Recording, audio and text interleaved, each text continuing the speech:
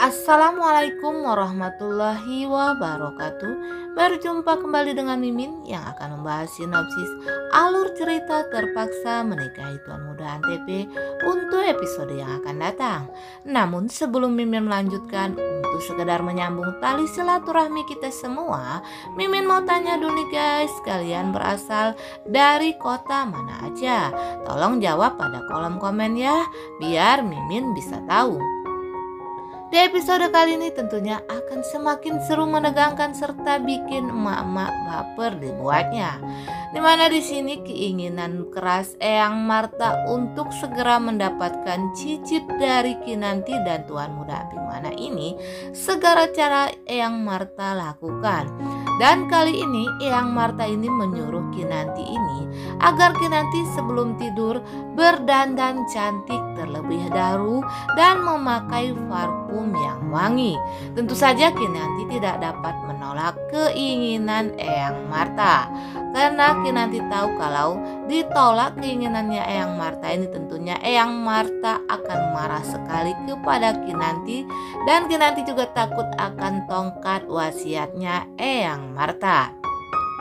Lalu Kinanti pun menuruti apa yang diperintahkan oleh Eyang Marta. Di sini Kinanti terlihat berdandan sangatlah cantik nih guys ya. Meski tidak dandan juga Kinanti ini sangat cantik dan saat ini terlihat Kinanti yang akan tidur ini berdandan yang sangat cantik dan memakai gaun tidur yang indah dan tipis tentu saja di sini Kinanti lebih terlihat sangat menggoda.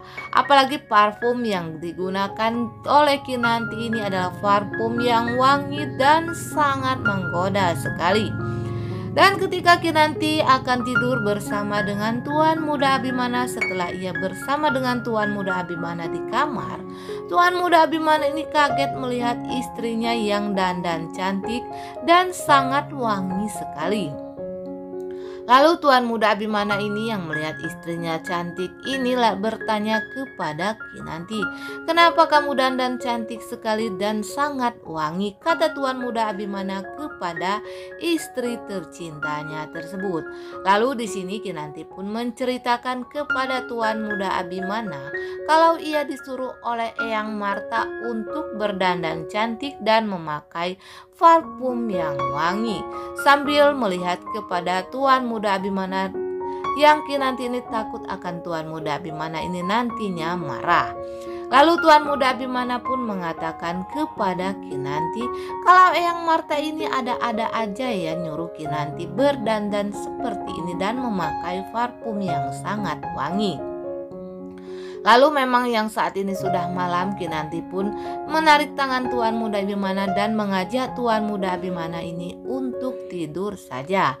Akan tetapi di sini hasratnya Tuan Muda Abimana mulai timbul ya guys ketika melihat Kinanti ini yang sangat cantik dan wangi ketika mereka akan tidur. Lalu Tuan Muda Abimana ini menarik tangan Kinanti. Dan tanpa sungkan Tuan Muda Abimana pun mengatakan kepada Kinanti kalau mereka saat ini harus usaha lebih keras lagi agar mereka segera mendapatkan keturunan tanda-tanda nih guys ya Walau Tuan Muda Abimana ini sudah ingin mengajak Kinanti ini untuk ngadon lagi yang kesekian kalinya agar mereka berdua ini segera mendapatkan momongan. Maklum saja di sini Tuan Muda Abimana juga merasa risih ketika Yang Marta ini mengejar-ngejar dirinya dan menyuruh dirinya melakukan senam dan apa saja agar Tuan Muda Abimana dan Kinanti ini segera mendapatkan momongan. Lalu Kinanti yang ditarik oleh tangan Tuan Muda Abimana ini tanpa menolak. Kinanti memang sebenarnya juga mau nih guys ya diajak oleh Tuan Muda Abimana. Dan Kinanti pun langsung memeluk Tuan Muda Abimana sambil berkata kalau ia sangat berterima kasih kepada Tuan Muda Abimana yang memang mereka saat ini harus berusaha lebih keras lagi nih guys ngadonnya biar segera mendapatkan omongan. Akan tetapi di sini Mimin yakin nih guys ya kali ini Tuan Muda Abimana bersama dengan Kinanti ini akan akan benar-benar berhasil nih guys karena mereka sudah usaha keras nih untuk segera mendapatkan momongan. Semoga saja ya guys ya keinginan Mimin sama dengan keinginan para pemirsa sekalian untuk segera melihat Abinan kecil berlari-lari di rumah keluarga Sudirja yang akan membuat suasana semakin ramai nantinya. Nah guys, Mimin kira sampai di sini dulu acara ngadonnya.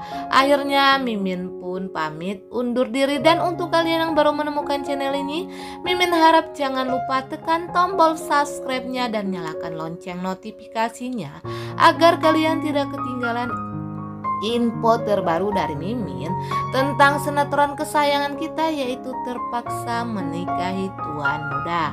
Serta mohon doanya semoga sinetron kesayangan kita ini akan segera naik ratingnya terutama untuk menjadi rating nomor satu dan diperpanjang episodenya agar kita dapat menikmati sama-sama sinetron yang kesayangan kita kali yang selama ini kita tunggu-tunggu nih guys ya.